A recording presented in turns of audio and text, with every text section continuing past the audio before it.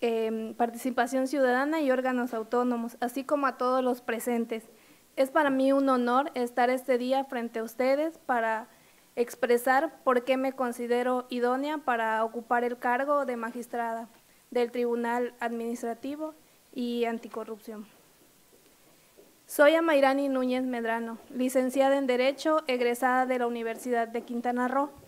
Em, crecí en una comunidad rural del municipio de Bacalar, en la cual eh, cursé mis estudios básicos. Este, estoy aquí porque me considero una persona preparada para ocupar la magistratura a la cual aspiro. Creo que cuento con la experiencia que el cargo requiere y también tengo un gran deseo de continuar eh, con la justicia en nuestro país. Celebro esta reforma que se tuvo bien aprobar porque creo que es importante eh, brindarle la importancia que tienen los temas anticorrupción y creo que las personas que deben de ocupar el cargo, además de estar preparadas, deben ser personas honestas, personas que quieran hacer las cosas bien, que quieran ver un cambio verdadero en nuestro Estado.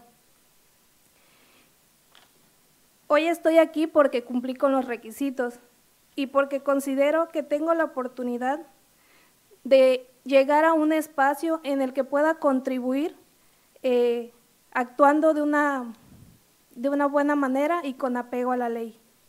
Considero que nuestro Estado requiere personas comprometidas con, el, con la justicia y el respeto a la normatividad y creo que hoy tengo una oportunidad para acceder y hacer un trabajo que hablará por sí mismo, como lo he hecho en todo el tiempo en el que me he desempeñado en cargos públicos. Tengo 13 años de experiencia y he ocupado diferentes cargos a lo largo de este tiempo, en los cuales eh, me he preparado y me he esforzado por hacer las cosas de la manera correcta, con honestidad, tal como me enseñaron en casa y aplicando todos los conocimientos que pude adquirir en la carrera que cursé y bueno, con la experiencia en los puestos. Soy consciente de que en el Tribunal de Justicia administrativa se deben cuidar los principios que marca la ley para lograr que la ciudadanía tenga una plena confianza en la actuación del mismo.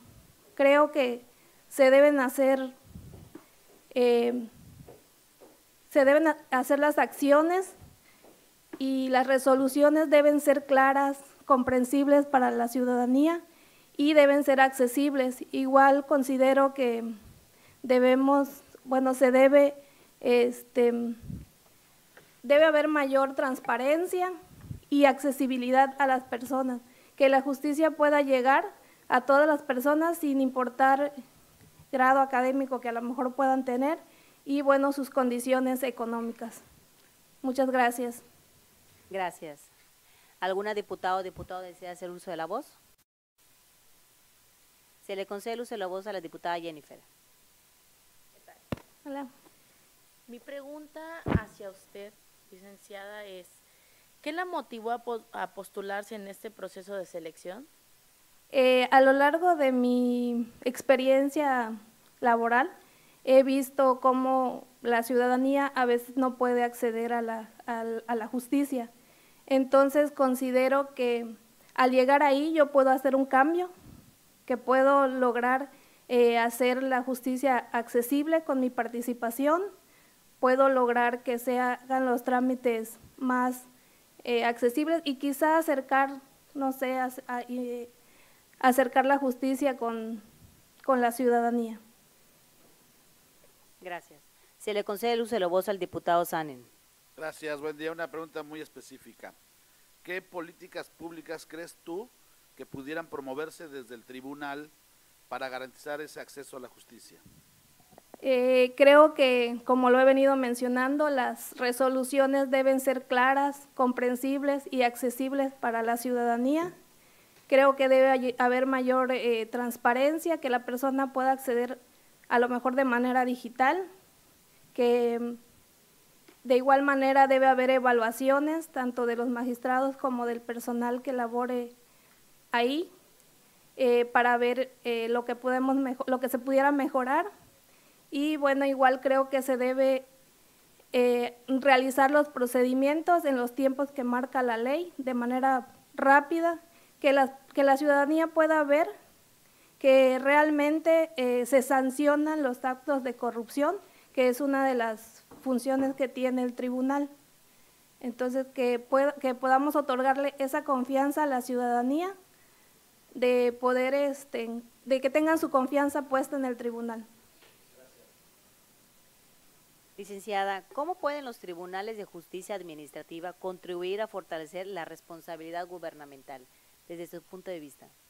Bueno, una de las cosas pues que sanciona es precisamente las faltas cometidas por actos de corrupción. Entonces, eh, imponiendo las sanciones que se debe y en los tiempos que se debe, los funcionarios van a tener eh, miedo ¿no? de, cometer actos de corrupción y eso va a ser una, va a ser una forma de evitar estos actos. Igual, eh, una de las funciones pues, es la capacitación, llevar cursos de capacitación este, y todos los talleres para que, para que los servidores públicos conozcan eh, la normatividad que deben de cumplir y con esto pues llegar, lograr que el sistema eh, sea un sistema libre de la corrupción. Gracias. No habiendo más intervenciones, agradecemos su participación. Muchas gracias, licenciada. Gracias.